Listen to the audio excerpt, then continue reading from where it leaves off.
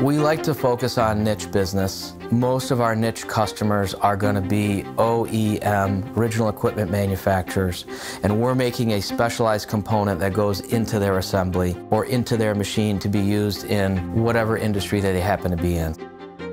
We're a rack manufacturer, we're a gear manufacturer, and we're a machining company as well. We become a little bit more of a one-stop shop for our customers. I think Chris and Ivan knew that their opportunity to grow their gear business was there, and they were right on the cusp of doing that, but they really needed something to help them do that, some modern CNC gear cutting equipment. And you know, we knew that they knew gearing and they knew hobs and they knew processes and how to make everything. And so it was a good relationship and a good partnership to, to strike up with them.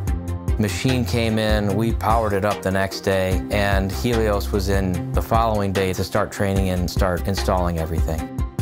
So really from the time that it hit our floor, we were probably running our first part three days later.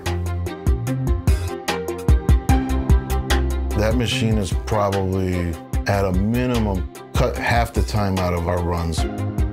I mean, we knew this was gonna happen. I mean, it's just made us so much more productive. There's jobs that lasted probably a week, we're knocking them out in, you know, two days or even less if we're running two shifts. So it's just been a game changer for us. So we ran seven jobs back to back on the same arbor, and all we had to do was go up to, to the control and change the number of teeth. Never had to change the work arbor, never had to change the hob. But because of the CNC control and the accuracy of the machine, we just put in exactly what size we wanted and we ran seven jobs and cut them all in a matter of hours.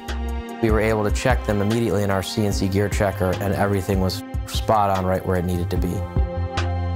They've been able to get rid of six of those machines.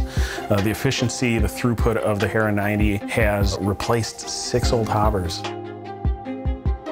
So if I can take an old machine out and I can put a new machine in that has less floor space but can outperform them from an accuracy and an efficiency standpoint, that's a no-brainer. We're, we're doing that every step of the way that we get a chance.